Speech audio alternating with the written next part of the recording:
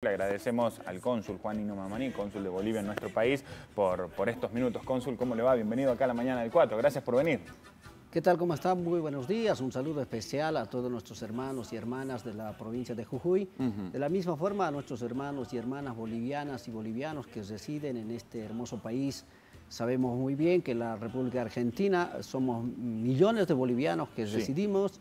Por Jujuy han venido los primeros migrantes y acá esta hermosa tierra nos ha acogido y tenemos muchas familias, nietos, hijos, nietos, por generaciones y generaciones que radicamos. Así que eh, sí, ayer estuvimos visitando al director, al hermano Gastón, para poder hacerle un presente, un especial presente que hemos llevado, eh, sobre todo esa máscara de la diablada, de, la danza La Diablada donde es un símbolo importante, es parte de nuestro país, el Carnaval de Oruro. Claro. Es una danza patrimonial para nosotros y en ese contexto sabemos que el Canal 4 toda la, empresa que tiene la grilla Bolivia TV, donde en Bolivia este fin de semana el carnaval más grande que nosotros tenemos, el Carnaval de Oruro, declarado como patrimonio eh, inmaterial, intangible, obra maestra de la humanidad, entonces eh, se va a transmitir también, en, ese contexto ha sido la visita, el agradecimiento, así que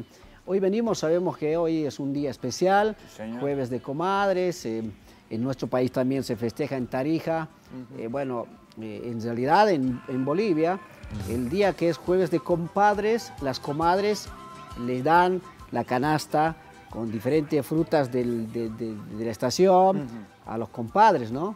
El globo, la, serpentina y la mistura y los confites, todo.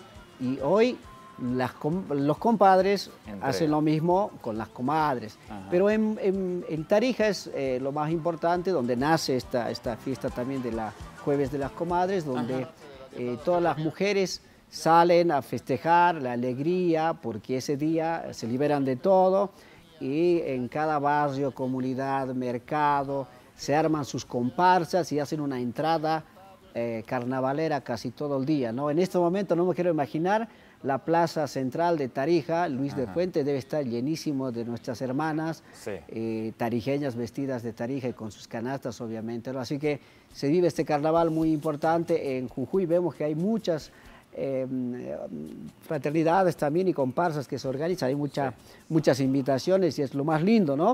Un restaurante que veía por ahí decía que, ponele que es una, pizzería y decía, mañana, jueves de comadres, eh, hay picante de pollo, por ejemplo, que creo que es tradicional, así que eh, saludar a nuestros hermanos de Jujuy por gustar de nuestras danzas, como recientemente también han participado en los diferentes cursos acá en la ciudad y en diferentes lugares, como siempre las danzas caporal, salait, inco, morenada, tobas, eh, bueno, y bueno, el tema de las coplas tarijeñas también que existe, y bueno, Jujuy también es un poco de lo que es eh, estas coplas también. Se vive eh, en, toda esta región, muy lindas estas tradiciones y costumbres. Cónsul, ¿cuán importante es, eh, y, lo marcaba por ahí en la charla, esto de pueblos hermanados, pero de que también para no extrañar tanto, poder disfrutar a través del Canal Nacional de Bolivia de estos carnavales, los carnavales de Oruro, que son importantísimos. Estamos viendo imágenes, son realmente increíbles, algo muy distinto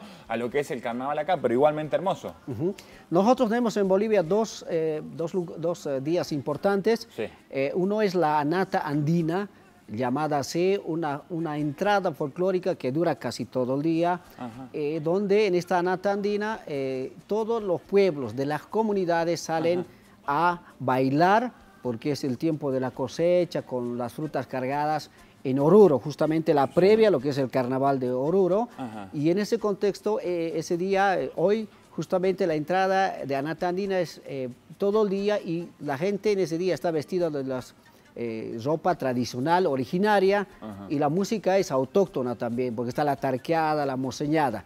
En ese no lo vas a ver la banda, no vas a ver el, eh, caporal o el tinco, sino es solamente autóctono del pueblo. Y después viene obviamente el tema del carnaval de Oruro, que ya es más con el caporal, Tinco, Salay y las bandas. Y esto obviamente a través del canal que van a poder ver en la grilla del canal 4, eh, esta entrada folclórica desde Bolivia. Y en Bolivia eh, no es que es como un corso el carnaval, sino el carnaval es una entrada folclórica, por supuesto, en honor a una virgen, a la Virgen del Socavón.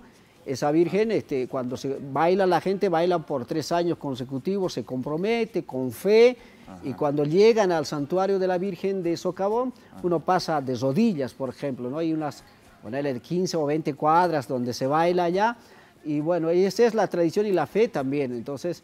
Claro, es algo eh, más religioso. Claro, más religioso, y eso va a pasar este carnaval, y bueno, nosotros hacemos la invitación para que puedan ver a través de la grilla del Canal 4 eh, por el cable que tienen y poder disfrutar la entrada folclórica o la entrada carnaval de Oruro y también eh, invitar a lugares turísticos de Bolivia. Tenemos el Salar de Uyuni, un salar muy lindo, es, hoy en día están visitando a diferentes eh, hermanos de diferentes países y también invitar a Bolivia a diferentes carnavales, como decíamos, creo que en Jujuy, en Argentina y en este sector de este continente llamada Aviala antes, hoy América, compartimos mucho que tiene que ver con, la cosecha, que tiene que ver con los tiempos de, estos tiempos de carnavales, donde hay la alegría, la fiesta, eh, la complementariedad, la solidaridad, la hermandad, sobre todo entre países hermanos, y por supuesto esta integración de los pueblos.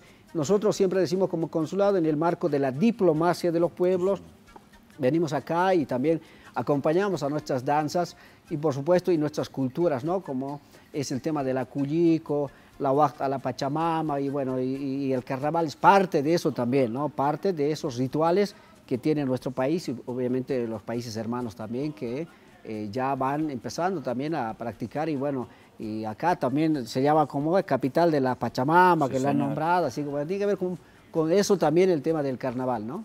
Consul, le agradecemos por estos minutitos acá en la mañana de cuatro con nosotros, es un placer. No, muchas gracias y felicitar a todas las comadres en su día, hoy jueves de comadres, que lo pasen muy bien y esa alegría que hoy tienen y que disfruten entre ellas y que bueno, pues eh, este carnaval comienza creo que con ellas, así que felicidades y que lo pasemos muy bien estos carnavales.